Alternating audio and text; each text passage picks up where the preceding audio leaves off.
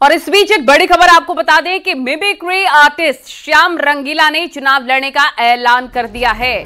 श्याम रंगीला ने प्रधानमंत्री मोदी के खिलाफ वाराणसी से चुनाव लड़ने की घोषणा की है। ये बड़ी और अहम जानकारी इस वक्त की हम आपको बता रखे हैं। प्रधानमंत्री नरेंद्र मोदी के खिलाफ चुनाव लड़ने का ऐलान किया है। मिमिक्री आर्टिस्ट श्याम रंगीला ने। माँ गंगा ने बुलाया है वाराणसी ने बुलाया है। देखिए मैं ऐसी बातें करूँगा ही नहीं। क्योंकि वो बातें करने से कोई मतलब नहीं है उन्होंने 2014 में कह दिया था। मैं तो सीधा कहूँगा मुझे बनारस ने बुलाया है मैं खुद भी आया हूँ मुझे गंगा मैया ने भी बुलाया है। गंगा मैया ने आपको बुलाया वाराणसी के बारे में क्या जानते हैं आप? क्या इत्तेफाक रखते हैं वाराणसी की समस्याओं से वाराणसी के लोगों से गलियों का शहर है? काफ़ी डेवलपमेंट भी किया हुआ नरेंद्र मोदी ने पिछले दस सालों में। देखिए वाराणसी से मेरा बहुत पुराना नाता रहा है ऐसी बात नहीं है। वाराणसी को मैं उस समय से जानता हूँ जब मैंने वो गाना सुना था खई के पान, बनारस वाला।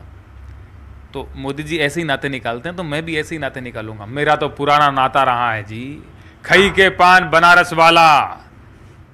जो बनारस का जो पान था, मित्रों, मैं शुरुआत से वो खाना चाहता था। तो मेरा भी नाता वही है। जैसे मोदी जी पहली बार बनारस गए थे, मैं भी पहली बार ही जाऊँगा और बिल्कुल ताल ठोक के जाएँगे।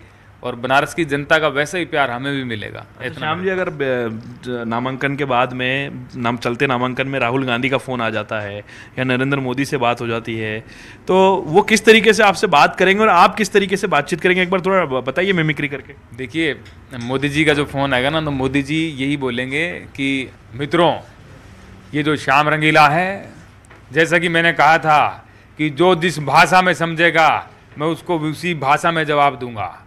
तो ये श्याम रंगीला तो इसको गंभीरता से ले गया जी।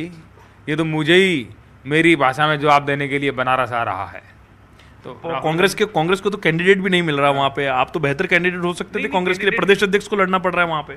तो कैंडिडेट मिल नहीं रहा वो वो खुद ही लड़ रहे हैं ना। मिल तो रहा होगा वो खुद लड़ रहे हैं। और मैं ये मैंने यही सोचा मैंने कहा जब कांग्रेस के प्रेसिडेंट ही वहाँ से लड़ रहे हैं तो मैं उनको कैसे कहूँगा? क्योंकि मैं आदम आम आदमी पार्टी से जुड़ा था तो अब आम आदमी पार्टी तो गठबंधन में है तो गठबंधन में वो लड़ रहे हैं तो मैं उनको तो कह नहीं सकता। उनकी कोई इच्छा होगी कि यहाँ कोई आया है लड़ने के लिए वो अगर समर्थन देंगे या कुछ बातचीत करेंगे तो बहुत स्वागत है। अगर राहुल गांधी की मिमिक्री अगर फ़ोन आ जाता है तो वो कैसी होगी?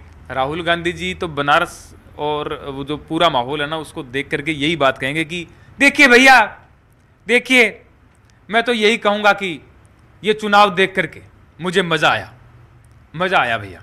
और ये मज़ा हिंदुस्तान ही नहीं, पूरी दुनिया को मैं देना चाहता हूँ।